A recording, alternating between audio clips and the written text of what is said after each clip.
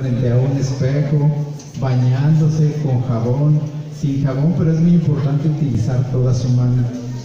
Una, un detalle muy importante que dicen en la televisión es toda la mama, toda la mano, para que ustedes puedan detectar algo. Entonces, la, con lo principal que van a tener sensibilidad va a ser con las yemas de los dedos.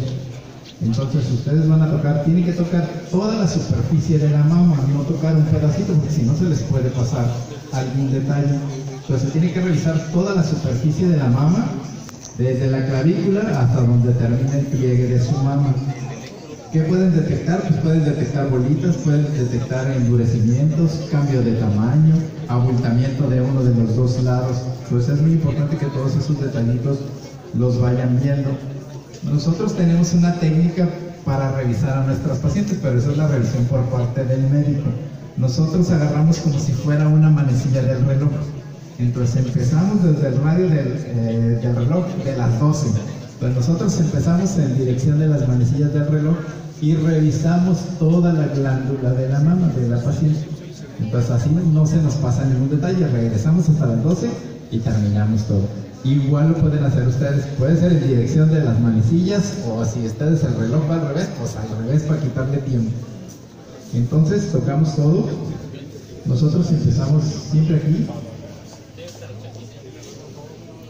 hacia abajo, con toda la mano, pero principalmente con la yema de los dedos, que es lo que vamos a tener más sensibilidad. Y ahorita que ustedes la toquen, van a ver cómo se sienten cambios en la piel se van a sentir nodulaciones y algunas de esas de esos nodulitos son de sospecha de algo más. Entonces la van a ir tocando de una por una para que vayan sintiendo si tienen alguna duda con toda confianza.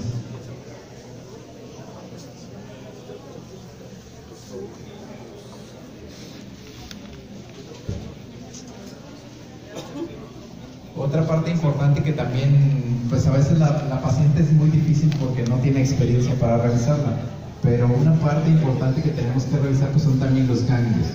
Los ganglios es el primer sitio donde se diseminan estos tumores.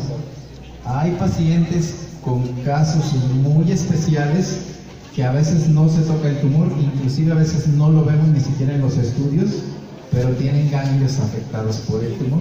Entonces a veces solo se puede tocar un ganglio arriba de la clavícula o en las axilas, entonces es importante también que se toquen sus axilas.